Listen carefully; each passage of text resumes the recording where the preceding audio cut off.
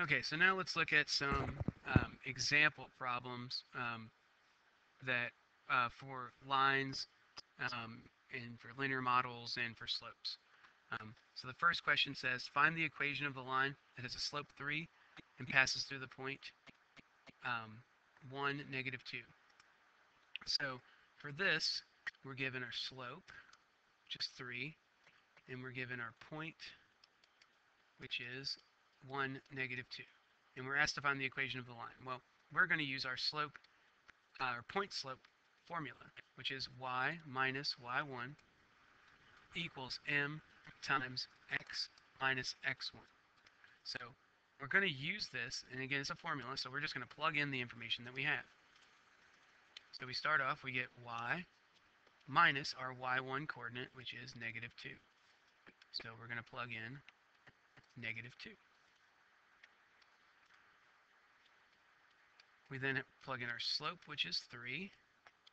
We multiply, the x stays, and we subtract away our x1 coordinate, which is 1. So plug that in. And then we want to simplify and put it into slope-intercept form. So we go through, this becomes y plus 2 equals 3 times x minus 1. So we break this apart, we get y plus 2 equals 3x minus 3. And finally, you get y equals 3x minus 5. Okay, if we follow this along, so I just distributed between this line and this line, and I added, or excuse me, subtracted 2 from that line to that line, until we get our final slope-intercept answer. Um, example 2 is going to ask us to sketch the graph of each equation. So this is where we're using our slope-intercept form of our um, slope-intercept form to help us out. Remember, the slope-intercept form looks like this. y equals mx plus b, where when we have y isolated and everything else on the other side, we will have our slope as m and our y-intercept as b. So I'm going to go ahead and draw big axes here.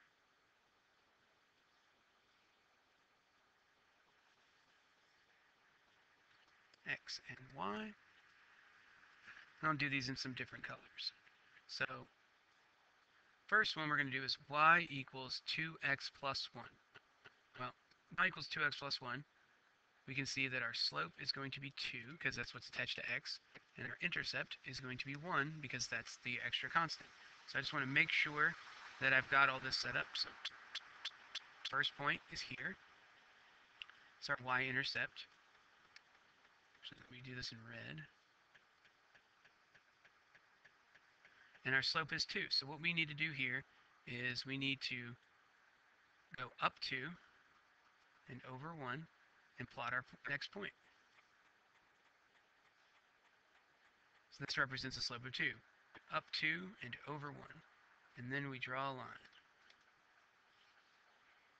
So that is our red line. That is a perfect sketch. Our next one here is going to be y equals 2. Well, in this case, there is no x. You can notice this. There's no x. So what does that mean about the slope? That means our slope is 0. So all we're left with is our y-intercept, which is going to be 2. So we go, draw our y-intercept, and since the slope is 0, it just goes sideways. It doesn't go up or down. So we've got our y equals 2. Simple enough. Our final one, I'll do in pink. Here we go. And we've got 3y plus x minus 6 equals 0. Well, you'll notice it's not in the form that we need. So we've got to go ahead and convert that first to get y equals mx plus b. So we're going to have 3y plus x minus 6 equals 0. We want to solve for y. So we're going to move our x and our 6 over to the other side. You're left with 3y equals negative x plus 6. and we need to divide each side by 3. So we're going to have y equals negative x over 3, which is also the same thing as negative 1 third x. And 3 divided by 6 is going to be 2. So we've gone down this list, created our y equals mx plus b, and now we're ready to graph this. So first off, we go to our intercept. Our intercept is at a positive 2. So we're going to go ahead and plot our point at 2, which is the same as our green one was. Now we have a negative one-third x. So our slope is negative one-third. It is going down. Well, either way you can think of. You can think about this in a few different ways. I'm going to attach the negative to the 1 instead of the 3. Um, I'm going to go down 1 for every 3 that I go over. So now I've got to I've got to draw a couple more lines over this way. So I'm going to go down 1 and go over 3. So my next point here should be at 3, 1. And then I'm going to connect these.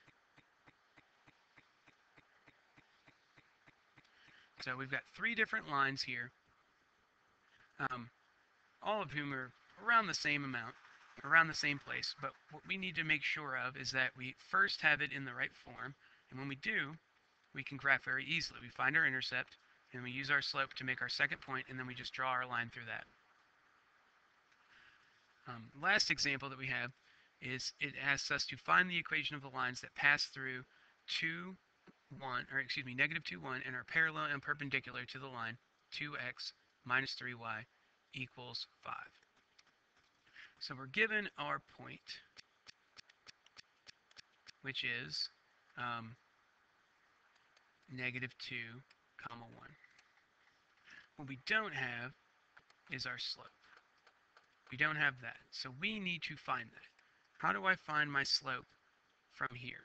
Well, if you look back at our previous example, our slope is just whatever number is attached to x when we get y isolated on one side. So I'm going to go over here and I'm going to do the same thing. So if I have 2x minus 3y equals 5, I want y by itself.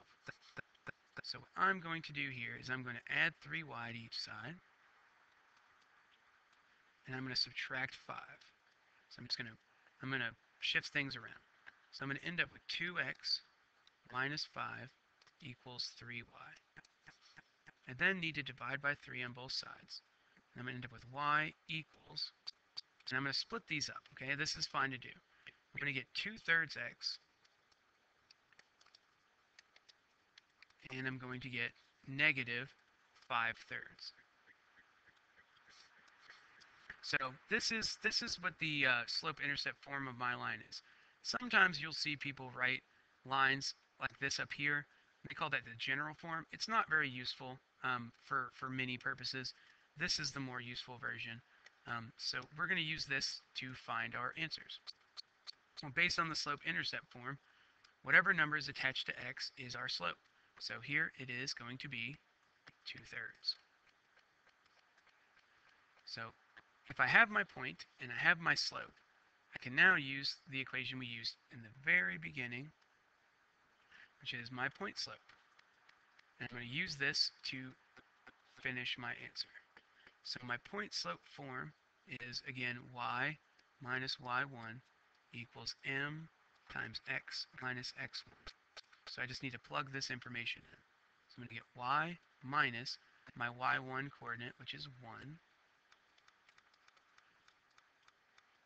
And that's going to equal my slope, which is 2 thirds times x minus my x1 coordinate, which is negative 2 and I'm going to get, oops, change color, negative 2. Okay, so now I just need to go through and simplify this. So I get y minus 1. It's going to equal 2 thirds times x. Remember, this becomes a positive 2. And then going to break this apart and add 1 over. So I'm going to get y equals 2 thirds x plus 2 thirds times 2. Well, if you treat the 2 like it's 2 over 1, when we multiply these, you multiply the numerators together and multiply the denominators together, and so you should end up with 4 thirds, and then we're going to add that 1 on at the end. Well, this together, 4 thirds plus 1, um, 1 can be treated like it's 3 thirds. There's multiple ways that you can add these together. Um, I've taught you all how to add fractions in different ways. Um, very simply, if you do 4 thirds plus 1, you should end up with the answer 7 thirds. So that is um, our line that is parallel, or excuse me, perpendicular, excuse me, perpendicular to our other line. Now, if we want the slope to be, or excuse me, this one's parallel, sorry. This is a parallel line that goes through the same point as this up here. Now, if we want a perpendicular line, perpendicular, remember, we need our slope to be negative reciprocal, right? So the slope from the first is going to be now negative 1 over itself um, for our second. So this is our second slope. So we still got the point negative 2 comma 1, but our new slope is going to be negative 1 over 2 thirds. Okay? Which, if we simplify that, it's going to be negative 3 halves. And we've worked on this before. On how to divide fractions. Remember, we just flip this and multiply by our numerator. Our numerator is 1, so we just get negative 3 halves. So again, we use our point slope form. And we're going to have y minus our y1 coordinate, which is 1. That's going to equal our slope, which is now negative 3 halves, times x minus our x coordinate, which is negative 2. So pretty similar to the other one. The only difference is that our slope is different. Um, and then we simplify. So we get y minus 1. This is going to be negative 3 halves x. Negative 3 halves times this is a positive 2, again, remember? So if we multiply this by a positive 2, we end up with a negative 3. And we're gonna, then going to add 1 over. So you get y equals negative 3 halves x minus 2. And this is our perpendicular line to um, the line before that passes through that particular point. So this line, y equals 2 thirds x plus 7 thirds, and y equals negative 3 halves x minus 2, both pass through the same point, negative 2, 1. They just have opposite reciprocal slopes of each other.